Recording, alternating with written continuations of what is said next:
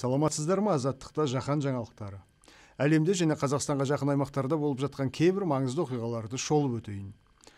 Қырғызстан үкіметі шекарасындағы кеден бекеттерінің еуразия экономикалық одағының шарттарымен сәйкестігін тексере бастады. Бішкек жуыр уақытта еуразия одағына кіруге ынталы екенін бірнеше мәрте білдірген. Қырғыз үкіметі елдің қытай мен өзбекстан және тәжікстанмен шекарасындағы кеден бекеттерін еуразия одағының шарттарына сәйкес қайта жабдықтап тізімдеп жатыр. Бұл шараларға ресей қаржылық жәрдем жасаған. Елдің 13 кеден бекеті еуразия экономикалық одағының шекарасы ретінде техникалық жағынан жаңартылмақшы. 13 бекеттің жетеуі автомобиль жолдарының алтауы темір жолдың бойында орналасқан. Бұл бекеттер қырғызстан жуырда еуразия экономикалық одағына кірген кезде одақтың кеден шекарасы ретінде бекітілмекші. Қырғыз билігі одаққа мүше болуға талапты екенін бірнеше мәрте білдірген бірақ қырғызстан қоғамында еуразия одағына қарсы көңіл күй әлі де күшті.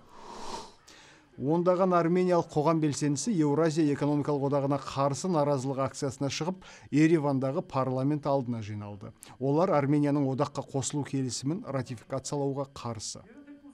Армения парламенті бүгіннен бастап ресей қазақстан мен беларусь бастаған еуразия экономикалық одағына қосылу келісімін ратификациялау мәселесін талқылай бастайды. Ал парламент ғимаратының алдында наразылық жиынына келген белсенділер бұл келісім арменияның саяси тәуелсіздігіне нұқсан келтіреді деп санайды. Олар экономикалық жағдай онсыз да мәз емес ресеймен одақтасу арменияны қиындыққа ұшыратады деп қауіптенеді. Еркін һәм тәуелсіз армения деп ұрандаған қоғамдық белсенділер депутаттардан келісімге қарсы дауыс беруді талап етті. Бұл құжатқа биылғы қазанның оны күні армения президенті серж саркисян қол қойған болатын. Бүгін тағы бір наразылық шарасы бұл жолы ресейдің өзінде өтті. Сібірдегі иркутск қаласындағы бірнеше ірі құрылыс компания басшылары мен жұмысшылары жемқорлықтан шаршағандарын айтып жергілікті губернаторға қарсы шықты. Иркутскіде митингке шыққан екі мыңға жуық наразы құрылысшы облыс губернаторы сергей ирощенкодан отставкаға кетуді талап етті. Олар губернатор жемқорлыққа көз жұмып отыр өзіне ыңғайлы бизнесмендердің лоббистіне айналды деп айыптайды. Нью сити құрылыс компаниясының өкілдері пара бермегендері үшін ірі тендерден қағылдық деп санайды. Компанияға тиесілі құрылыс нысандарында жұмыс уақытша тоқтап тұр. Молдовада жексенбі күні өткен парламент сайлауының алғашқы нәтижелері бойынша еуропашыл партиялар алда келе жатқанымен олардың ешқайсысы жеке дара үкімет құра алмайтын сияқты.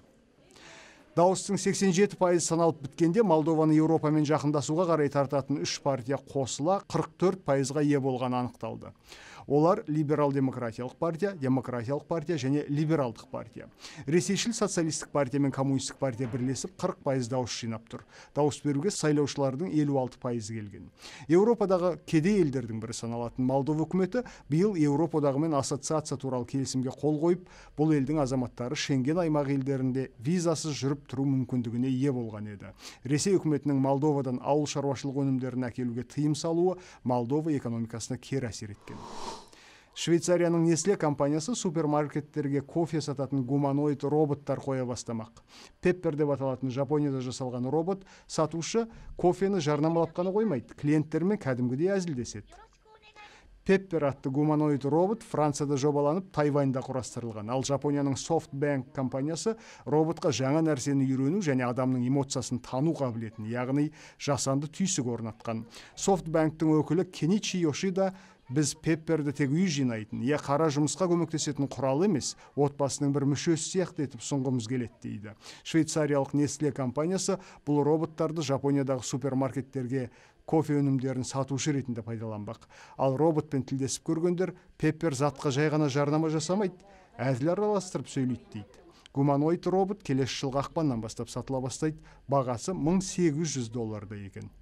Бүгінгі жаһан жаңалықтарының реті осындай болды. Хабарымызды веб сайтымыздан әлеуметтік желілер мен қалта телефон қосымшаларынан қайталап та көруге болады. Тағы жүздескенше күн жақсы.